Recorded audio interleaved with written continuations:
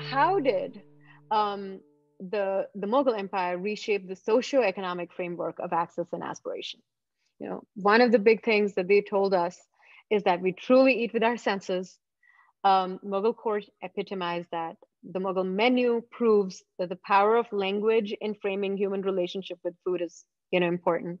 And they adopted Persian as the language of the Mughal court, a language that must have sounded very foreign and exotic to the Indo-Aryan ears of the day.